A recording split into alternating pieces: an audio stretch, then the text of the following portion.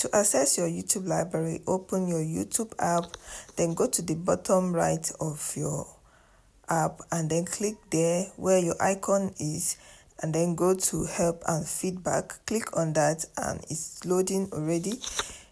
After it comes up to this page where you go to search help click there and type in audio audio library. Okay before i'll finish it brought out options. Use music and sound effects. I click on that and then you open up this page. You see open audio library sign into youtube then you then you click on the link down. You open up to the audio library. This is the audio library. This is it right here. Okay?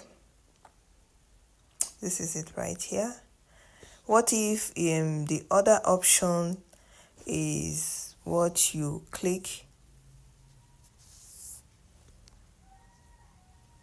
What if the other option is what you click? The youtube studio the first one i'll click is the link there. Then open youtube um, studio. That's the one i click now. It will open the studio for you okay open your youtube studio. This is my youtube studio. Then go to the left hand icons right there. You will see the music icon. Click on that music icon and it will open to the youtube library. Then you can choose any um, song you want. They are songs without claim okay?